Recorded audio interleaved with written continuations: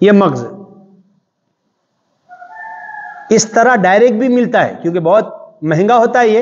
ये तकरीबन, मैं आपको बताऊँ, ये जो मगज है, ये सात हज़ार रुपये कहीं छह हज़ार रुपये किलो है। समझे? और इसके साथ खाली साहब, आप कितने में बेच रहे? पाँच हज़ार रुपये किलो, फ़ी किलो, पाँच हज़ार। और ये ताज़ा है।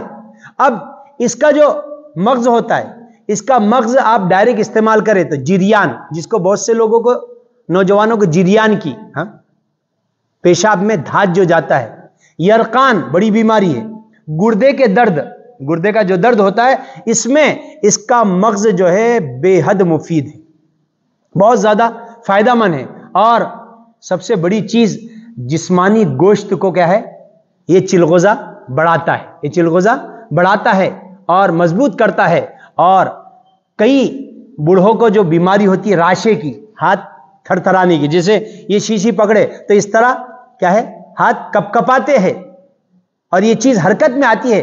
राशा और जोड़ों की दर्द में चिलगोजे का अगर इस्तेमाल किया जाए सुबह शाम, चाय में या कहवे में, या फिर साथ साथ पानी वगैरह में इसको इस्तेमाल किया जाए। इसको डालकर अगर उसकी चाय बनाए या कहवा वगैरह तो उसके लिए भी बेहद मुफीद है। बहुत ज़्यादा मुफीद क्या है? इन चीज़ों में है। और बहुत से लोगों को कब्ज की बीमारी होती है। रिया खारिज की हाँ? हवा खारिज की। उसमें भी ये बहुत मुफीद है। और सर्दियों में अगर इसका इस्तेमाल किया जाए तो इंतहाई ज़्यादा ये कार आमद मुफीद है। लेकिन इसका खाने का तरीका क्या है? खाना खाने के बाद ये पाँच, सात इस तरह दाने इस्तेमाल करें। क्योंकि चिलगोजा जोदे हजम है। जल्दी हजम नहीं होता। इसलिए इसका ज़्यादा कसरत से इस्तेमाल भी, ज़्यादा इस्तेमाल भी नुकसान दे। एतदाल में अगर इसको इस्तेमाल किया जाए, तीन दाने, पाँच दाने, सात दाने, हा? खाने के बाद तो बहुत ज़्यादा मुफीद है। खून को बढ़ाता है।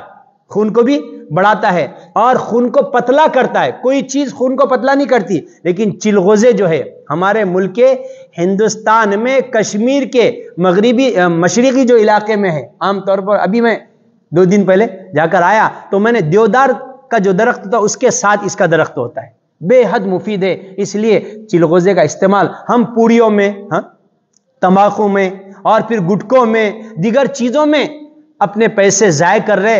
अल्लाह के नबी सल्लल्लाहु अलैहि वसल्लम ने कहा, बुखारी की हदीस है, नियमतान मकबून फ़ीहिमा कसीर नास। दो नियामतें ऐसे हैं, अक्सर लोग इन नियामतों में धोखे में। असेहा सबसे पहले सेहत। सेहत के मामले में इंसान एहतियात नहीं करता। ऐसी सेहतमंद चीज़ इस्तेमाल करना चाहिए, जो इंसान के सेहत को बहाल रखे इंसान के जिस्म को बहाल रखे। बहुत फ़वाद इस, इन चिलगोज़ों में है, इसलिए इसका इस्तेमाल करना चाहिए। और कई फ़वाद है, और भी इनशाला किसी मौके पर आएँगे, इसलिए इसका इस्तेमाल क्या है? करना चाहिए। हमारे कारी मोहम्मद अली साहब के पास क्या है? ये हर हर एतबार से हर चीज़ आपको देखने में मिलेंगे। अल्लाह से दुआ है। अल्लाह तबाक ताली हमें इन तमाम बातों पर अमल की तोफ़ी का तफर